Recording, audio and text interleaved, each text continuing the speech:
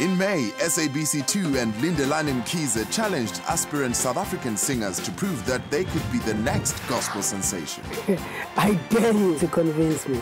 Since then, we've been around the country to witness the good, the bad. We've seen them all. Now 30 of them are packing up their bags and are heading to Joburg. So join us every Sunday night from the 3rd of August as they each get a chance to say...